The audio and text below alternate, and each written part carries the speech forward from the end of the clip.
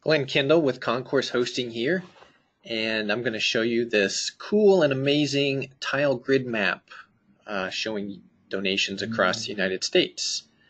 To get this Tableau workbook, uh, I'm on my Tableau public profile page, and I'm going to click Download Workbook. Wabam, and open. And here it is. Uh, this is a dashboard view of it, and then here's the actual workbook. I love this visualization. This is so cool. Uh, this is awesome because it shows states as all being the same size. And, uh, you know, it's like Rhode Island's almost like it's a real state, and, and Delaware too.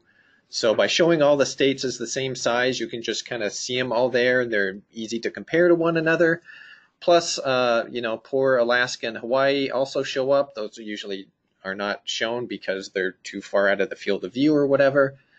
So, and then the cool thing is that you can just organize the boxes so this almost kind of looks like the United States. So I love this view.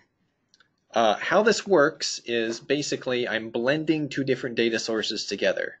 So in Tableau, you do blending by just combining two data sources. Um, so I have one data source.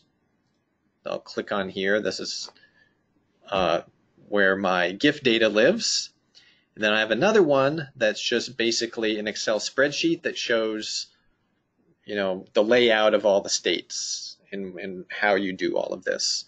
Uh, so to get at that data and get your own Excel spreadsheet to do that, uh, since you already have the workbook here, you can just click on this and then say export data to CSV. And wablamo, there it goes. And so it's just in a CSV now. Um, yeah, there it all is. It puts this number of records column in there for some reason. We don't need that, so you can just delete it. But this is the layout of everything. So I've got the state abbreviation, um, the row and the space, and then the state. Um, so like Alaska, we can see here is in row one, space one. So one one is there. And then Maine is one and then 12. So there's Maine.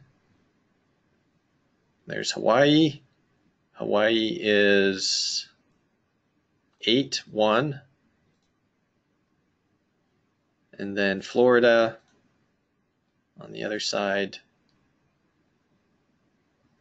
8, 10. So basically, this is just a grid that's 8 high and 12 across. So all we're doing in this Excel spreadsheet is defining where on the grid each state shows up. Um, you'll need to make sure that in your actual data, in your gift data, that you either have the state or the state abbreviation in there and it's all spelled correctly because that's what it's going to be linking on. In this case, I'm linking on the state. Um, I say linking rather than joining because when you're doing a data blend in Tableau, it's got this little link field and it even calls it link. So it's using state as the linking field. And the way you do that is you go up here and you say edit relationships and then you tell it, okay, my primary data source is this one and my secondary is this one. It really doesn't matter which is primary and which is secondary, but state, uh, I can edit what the fields are, uh, but state is the one that I'm using. So that's how you make the states. Um, then within you know the gift data, the gift data itself is is pretty basic. Uh, just got my gift, gift date, gift type, gifts ID, um, a gift amount, actual gift amount. So on the gift date FY, all I'm doing there is I'm just using the gift date itself, uh, which seems kind of silly, but then the reason I do that is you come over here and you can say, oh, I want my fiscal year for this particular pill to start at a certain date, say July. So that way you can have gift date, which is the calendar year gift date, and then gift date FY, which is the fiscal year. I have gift amount and actual gift amount. Um, you don't have to do this. Um, just depends on how your data is set up.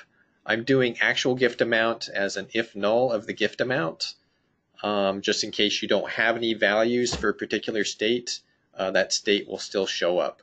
So like here, Idaho and Montana, if I didn't do that, then these two states would just not exist, which would be terrible because I'm from Idaho and you don't want Idaho to go away and certainly not Montana. So you want those states to show up so it doesn't look like there's a big gap in your map. Um, otherwise, you just have to be conscious of where you are when you're using these two data sources and know that when you're making calculated fields, that kind of are associated with the data source. So when I'm on actual gift amounts, you know, gift date FY, they're here. And if I click up to this data source, they're not there. And uh, once you drag the pills over to use them in the visualization, all I have is just space and row for my columns, again, just defining the grid. Uh, for my marks, I'm using a square. Uh, you could also use a circle as well if you want to do that. Um, I, in some ways, I kind of like the circle, you know, but I don't know. There's just something about the squares is more state-like. So I prefer to do the square, but whatever. Um, I did a border here. Uh, so you can do a white border or a black border. I actually did some formatting on here as well so that the lines show up as white. So that's actually not this border. It's within the format of the visualization. Uh, going over here and then within the cell, I click on a big thick border and then make it white. So that kind of gives that nice gap between the the states there. Um, otherwise, I just, on the label, I just have the state abbreviation name and then the actual gift amount. For the actual gift amount, I define the default property as being currency with no decimal places, then I'm displaying in the thousands. Um, if I don't do that, then my amounts get bigger and uh, might come off the screen a bit. So in order to keep everything in its nice, nice, neat, tidy little box, I do it in terms of of thousands of dollars at a time. Um, yeah, that's really it. That's the magic to make this work. Um, have a tile layout Excel spreadsheet, and then do data blending to blend it to your particular data in this case, I'm doing it on the state field. And cool, you got a nice tile grid map. Uh, if you want to learn more about doing other visualizations and upcoming webinars and stuff that we have, uh, basically once a month we have a webinar um, where we introduce a new workbook covering something that nonprofits could use. Uh, typically, focuses on Raiser's Edge data, Blackbaud CRM data, but really it can apply to, to any nonprofit. So if you want to find out more about learning about new workbooks and webinars and just get on our mailing list uh, for Tableau tips and whatnot, text Concourse to 345345 and they'll get you on the list and uh, get all the goodies. Cool. Thanks for joining me today and hope to see you soon.